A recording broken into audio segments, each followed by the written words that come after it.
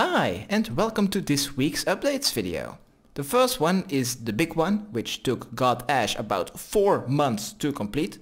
There is now a make all option added, where there is a make X option. This was done by rewriting 207 skilling features. Do you know all of them?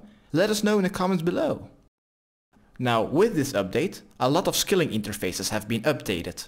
And now you can also do one tick Karambwan cooking for approximately 1 million experience per hour. HK isn't powerful enough? Hold my beer, said Jagex. Next update is a buff in experience when chopping Sulliuscep mushrooms.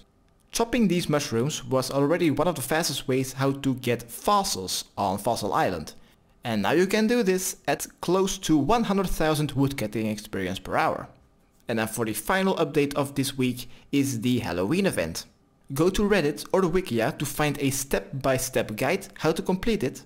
But if you do not want to complete this event for whatever reason, no worries, you will have to complete it in January anyway when it gets released as a quest. And that will sum up this week's updates of Old School RuneScape. Please subscribe for more weekly update videos. And bye!